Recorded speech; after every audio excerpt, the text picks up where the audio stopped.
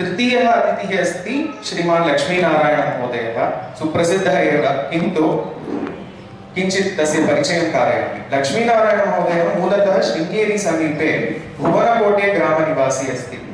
अयं यदा अष्टमकक्ष्यायाम् आसीत्, तदा संस्कृतभारत्याः सम्पर्के आगतः।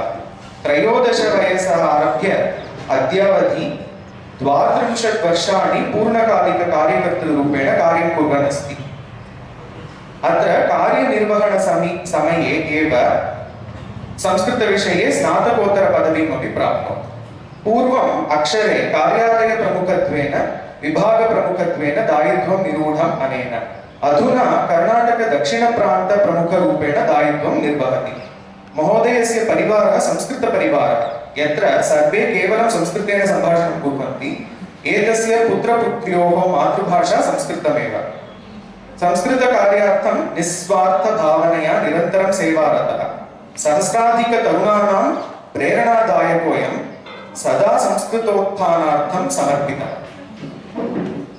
किञ्चित् आङ्ग्लेन अपि वदामि लक्ष्मीनारायणमहोदय hails from a place called Bhuvanakote near Sringeri He came to Sanskrit Bharati at a very young age of 13 when he was in 8th standard. From then onwards, he has been working for Sanskritam as Purna Kalika. Actually, that is very important.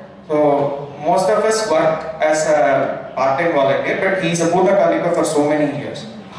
He, has, uh, he completed his post-graduation also in Sanskritam while serving there. In the past, he served as a Karya- Karyalaya Pramukha, Vibhaga Pramukha, and now he is Karnataka Dakshina Pranta Pramukha.